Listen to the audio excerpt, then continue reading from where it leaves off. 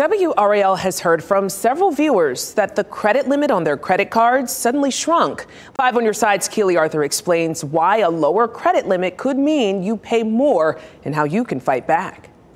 When there are signs of a potential recession looming, lenders typically try to limit the amount of credit they extend. And when they're dealing with these cuts, they typically target specific groups of people.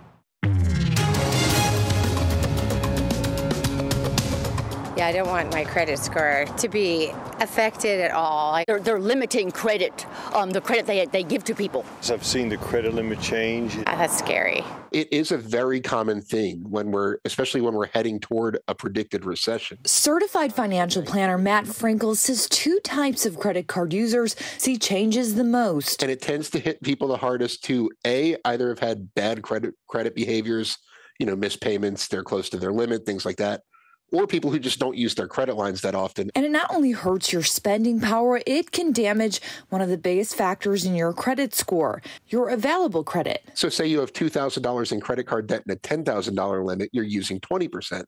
If your bank then slashes your limit to $5,000, all of a sudden you're using 40% due to no fault of your own. That can cause your credit score to drop, forcing you to pay more when you borrow. Remember, you can fight back if you're starting to see a lower credit limit. Call your lender. If they're not budging, you can threaten to leave. Remember, there are always plenty of other credit card companies that will be willing to take your business. Keely Arthur, five on your side.